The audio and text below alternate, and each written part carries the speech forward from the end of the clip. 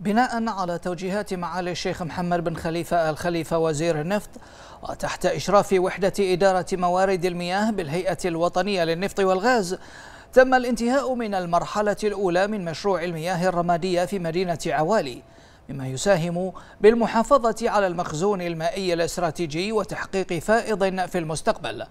وخلال اتصال هاتفي في نشرة سابقة أكد السيد حسين مكي المستشار بالهيئة الوطنية للنفط والغاز ومدير المشروع أن مشروع المياه الرمادية في مدينة عوالي يعد من المشاريع الرائدة على مستوى المنطقة.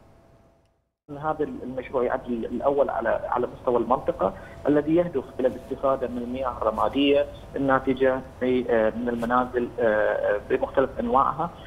طبعا بدا بدأ العمل في هذا المشروع من خلال أول مجمع في مدينة عوالي. نهدف إنه يكون مدينة عوالي المدينة الأولى على مستوى المملكة وعلى مستوى المنطقة التي تتم الاستفادة واستغلال المياه الرمادية فيها سواء من مياه المطبخ أو التكييف أو الاستحمام. الميزانية المقصودة لمثل هذا المشروع أكثر من نصف مليون دينار باعتبار لدينا أكثر من 550 منزل 550 منزل في مدينة عوالي.